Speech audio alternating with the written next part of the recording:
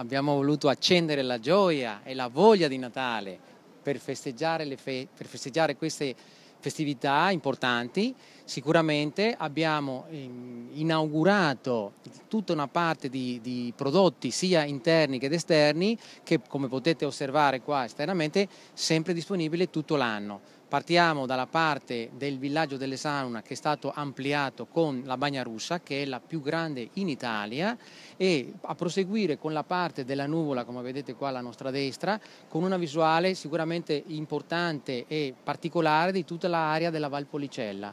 All'interno abbiamo introdotto e migliorato un percorso CNAIB, pediluvio, sicuramente a livello medicale all'avanguardia in Italia, oltre che la grotta salina con la salgelma. Sicuramente tutto all'impronta del benessere e del relax dei nostri ospiti, sia di quelli piccoli che anche di quelli più grandi. Tantissime novità sempre all'insegna del benessere e del relax, perché giustamente Acquare, le terme più grandi di Verona, Mm, puntano a, quello, a dare un prodotto sicuramente all'avanguardia e sempre avanti a, ai nostri clienti che diventano sempre più esigenti. Per inaugurare tutte queste novità avete dato anche spazio ad una mostra di un artista veronese, questa mostra si chiama Dreaming Verona e riporta le fotografie di questo artista sotto un aspetto un po' sognante, giusto? Sicuramente, come quello che vogliamo dare.